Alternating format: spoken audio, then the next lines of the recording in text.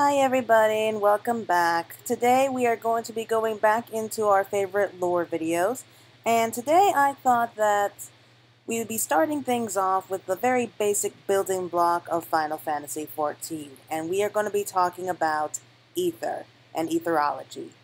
This is going to be a video about what exactly it is, how it works, and why it's so important so I hope you're going to be looking forward to it. So why don't we start with the important question of asking just what is ether? Well, to put it in a simple way, ether is the most basic building block of all creation in the world of Hydaelyn. Not only that, but it's also the very life energy upon which the schools of magic are drawn from Final Fantasy XIV. Without knowledge of ether and how it works, scholars would be unable to understand the world and how anything works.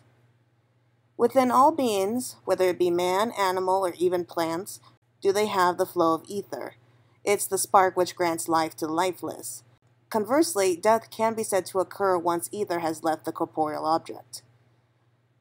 From this, it's clear to see why many scholars use the words life and ether interchangeably. It can be assumed that a young man of sound mind and body will possess a higher concentration of ethereal energies in his younger years, whereas he would in an older man, or one inflicted with corruption will not. Some scholars have even expanded upon this hypothesis, saying that the consumption of food serves not only to fill the belly, but to provide the body with ether that was lost during the day. Ether is not by any means static, though. It's constantly flowing through creation, forming currents through the earth, the water, the air, and ensuring that life is sustained throughout the world. If these currents should ever stop flowing, then it's going to be like you stopping someone's hearts Ether is the very lifeblood of Hydaelyn. Without it, the world and everybody on it would die. Manipulation of ether is a manner that deviates from its natural tendencies in what scholars would call magic. While the various schools of magic, such as thaumaturgy and conjury, all employ different methods, the basic concept is still the same being able to manipulate the flow of ether in one's own body to be able to manipulate the surrounding environment. A similar yet more primitive type of ethereal manipulation can be seen in non sentient beings, such as a raptor breathing fire or a blast that's about to explode. These are all examples of lesser born creatures utilizing the ether within their own bodies or available ether from the nearby environment to hunt or protect themselves from harm. There exist some objects which are believed to toe the line between organic and inorganic, gems being one such example. Arcanists tip the scale in favor of life by drawing ether into the stones, which allows them to be able to summon creatures known as the carbuncles. Ethereal energies can be divided into six distinctive elements. We have fire, wind, lightning, water, ice, and earth. Now, these elements provide nature with aspects that govern how they act in the world. For example, if there's a region where the ethereal currents are more aspected towards fire, they're generally going to be a lot hotter and drier than in the region that would have, let's say, ice aspected currents, which is more likely to be characterized by frigid climates. In addition to the six elements, there also exist two poles. We have the astral and the umbral, which greatly influence the nature of the elements. An astral change bringing more activity, while an umbral change resulting in more passiveness. If a thaumaturge was in the astral state, then their fire spells are bound to be a lot more powerful.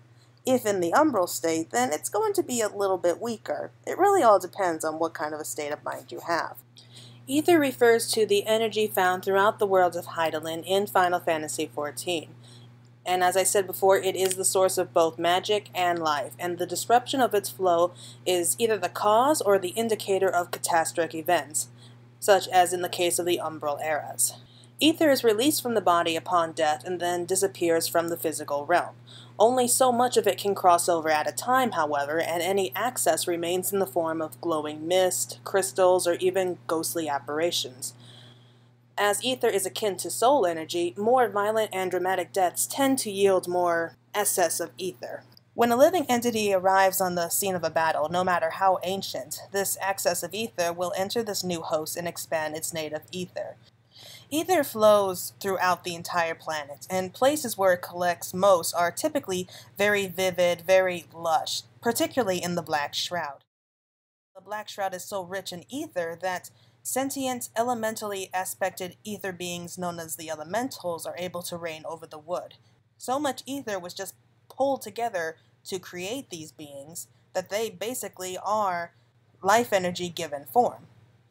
However, while it is the source of all life on Earth, ether is also very dangerous in high concentrations. This often causes afflicted to become more aggressive, if not completely mad, and monster and ether abundant areas become much more threatening, such as in the case of Eureka. The ether there is so warped and powerful that the creatures that are already powerful and dangerous there only grew ever more dangerous. As for the case with the primals, they are called to the physical realm and sustained by massive amounts of ether. Now, the beast tribes who worship them hoard these crystals, and when they feel like they have enough, they will attempt to summoning. The more crystals that are gathered together, the more ether is fed to the primal, and as such, they become much more powerful. However, over time, this ether will eventually run out, so they will continue to have to suck the land dry of ether, as well as claim other poor, unsuspecting victims as their servants as their thralls in order to help sustain their bodies. Now, up till now, we haven't seen the primals as too great a threat to the land, because we usually deal with them very quickly.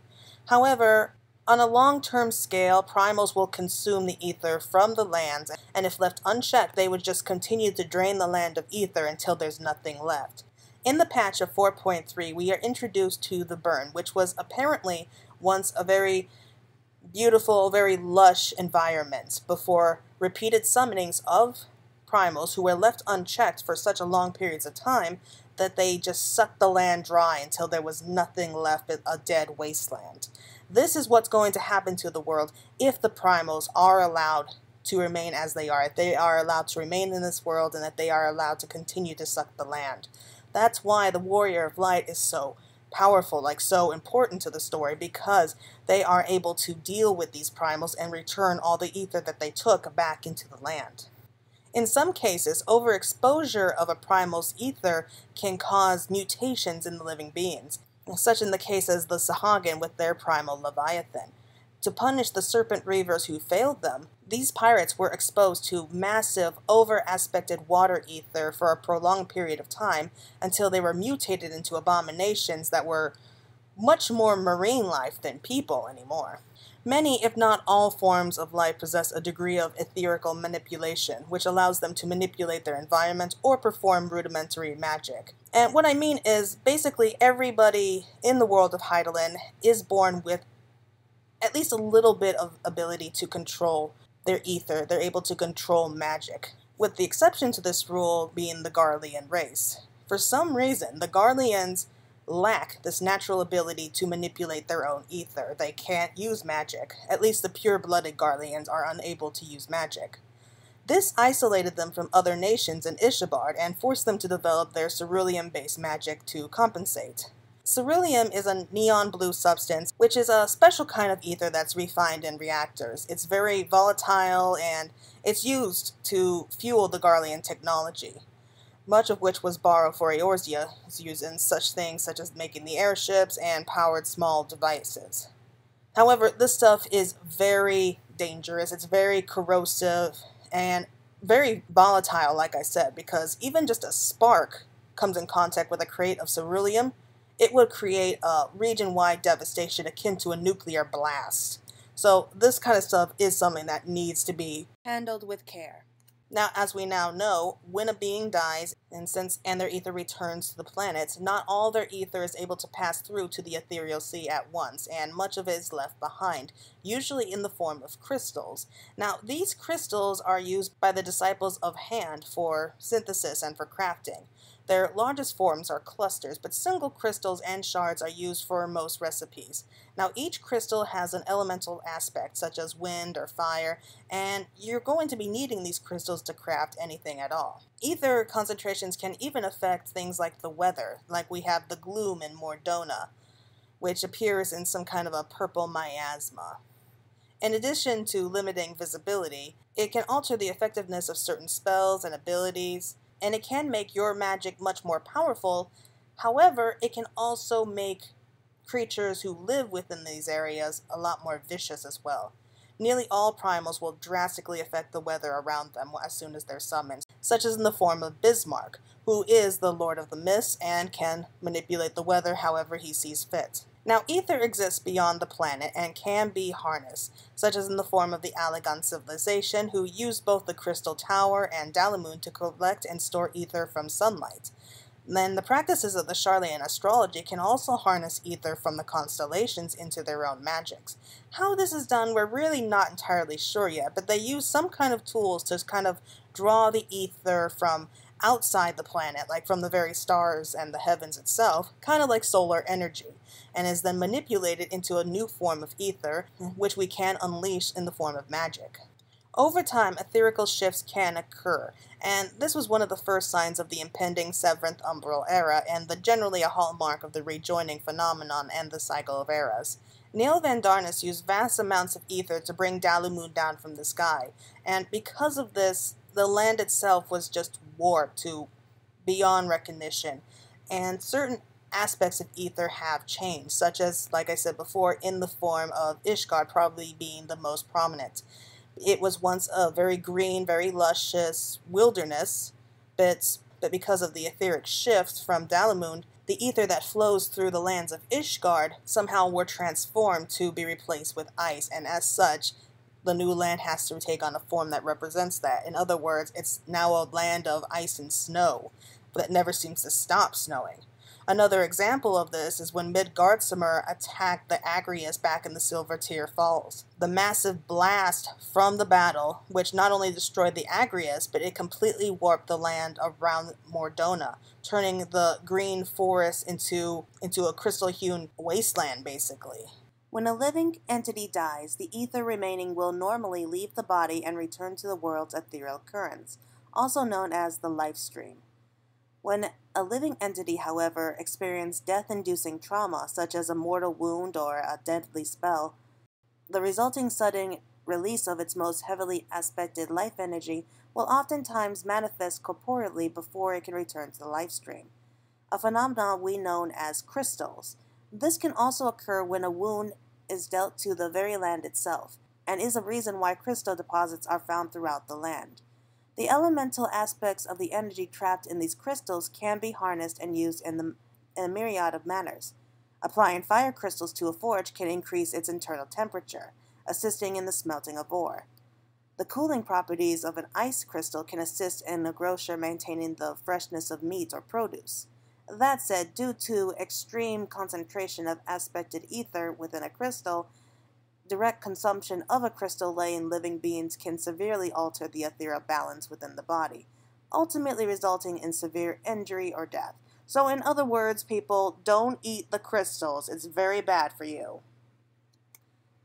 Aetherologists believe that existence occurs on two separate but overlapping planes the corporeal realm, where we reside, and the ethereal realm, who more namely a realm without substance but containing the essence of all creation. When an item in the corporeal realm dies or is destroyed, its ether passes back into the ever flowing currents of the ethereal realm, in other words, the life stream. When something new is born in the corporeal realm, it is granted life with energy from the life stream. Thus, a natural balance is maintained between the two worlds. Now, each plane exerts influence on the other, the proximity of the two determining the scope of that influence. In places of close proximity, the ethereal plane exerts a great amount of influence on the corporeal plane, and vice versa. The corporeal plane benefits from this proximity by becoming rich in abundant ether, something that promotes life and growth. Conversely, locations where there is distance between the corporeal and the ethereal planes are thought to suffer from harsh climes and be characteristically void of life. If for some reason one plane were to become irreparably irreparably damaged, the other would also suffer, leading to the eventual collapse of both. As was stated above, when the planes draw close in proximity, they equally exert influence over each other. We have already given an example of how the corporeal plane benefits from the influence, but what of the ethereal plane? One manner of measurable influence is how corporeal can be maintained while in a state of pure ether. This ultimately allows for the travel of corporeal beings through the ethereal planes without the loss of ties to the being's own plane. In simpler terms, it renders teleportation, magics that are wielded to reduce a body and its will to ethereal components and cross over the ethereal plane. While there, the will of the host is maintained, allowing him to travel almost instantaneously to other locations in the plane, when he then crosses back, regaining its corporeal form. To accomplish this, however, the host requires special beacons, the points of subjects where he needs to be. Aetherites' massive concentration of crystallized ether serve as beacons or lighthouses, most often appearing in areas where the corporeal and the ethereal planes are the closest. Now, these areas are usually teeming with life because of this proximity, which is why centers of population can be found near aetherites. Without these beacons, an ethereal will will merely drift in the life stream for eternity, slowly breaking down into the most basic form of pure ether until Hydaelyn gives those particles new form. Historically, settlements have been established around existing deposits of aetherites, areas teeming with life due to their proximity to the ethereal plane. However, the Sharlayans, despite a lack of comprehension regarding the process involved, have succumbed in applying technology from previous ages to the construction of portable aetherite which can be placed in almost any location. I know this all sounds really complicated, but basically what it comes down to is when we teleport, our bodies transform into pure ether and we're able to travel along the life stream. However, once we enter the life stream, we have trouble finding our way out, which is why we have the aetherite crystals set up in in the cities and the settlements. They act the part as lighthouses. They help us find our way out of the life stream, basically. Which is why in Sharlayan, the teleportation spell Flow is considered to be forbidden and dangerous. It's dangerous because the reason it's considered dangerous is because usually when a person teleports, they have a location in mind and they use their thoughts to be able to travel the life stream and guide them to the lighthouse of the aetherite currents to that exact location. However, when using the spell of flow, it doesn't use an aetherite crystal as a beacon. Basically, you can travel anywhere in the world with the spell of flow, and you don't have to waste your time like chanting a really complicated, powerful spell all the time. However, it doesn't have a guaranteed exit. That's the tricky part a person can very easily become trapped within the life stream. So when you use the spell of flow, it's kind of a 50-50 chance of whether or not you'll be able to escape the life stream. This is shown very clearly when Y'shtola used the flow spell when escaping from Ul'dah with Thancred. Thancred ended up escaping the life stream, but he had no control over his destination. He ended up in the Dravanian Forelands. Whereas Y'shtola ended up trapped there for some time until the Seed Seer was able to actually peer into the life stream and help pull her out. Now, while both of them did manage to escape the life stream eventually, it definitely caused some kind of effects on them. In Thancred's case, for some reason, he just can't manipulate his own ether anymore. He can't use magic, including teleportation spells. In Y'shtola's case, she can't see anymore. She was robbed of her sight. That's why her eyes are so blank now, she can't see anything. However, she also can sense ether so much clearer now. So she's able to see, in a sense, by basically sensing the ether around her. And since everything is made up of ether, she can see as a kind of second sight, I suppose you could say it is. She can just sense where everything is. All in all, teleportation is a very dangerous business. And being stuck in the life stream for too long can basically turn you into little particles. That is why they were in such a hurry to get Y'shtola out of the life stream before her body was completely broken down. Some scholars in the field of aetherology further believe that somewhere deep beneath the land slumber a massive concentration of ethereal life energy. Now, these aetherologists refer to this phenomena as the mother crystal.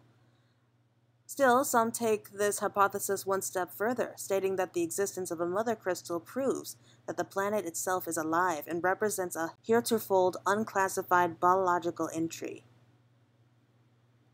To support this theory, they point to the oracles and heroes of ancient history who claim unexplainable visions of the future or unnatural strength to overcome impossible odds. The scholars believe that it is through these visions that the planet is conveying messages to those she entreats to aid her, with the reoccurrences themes of Hydaelyn's will or the will of lights, which appear in the myths and folklore of seemingly unrelated civilizations as proof of this belief. A focal point of Sharlayan academia has forever been to understand and predict Hydaelyn's fate.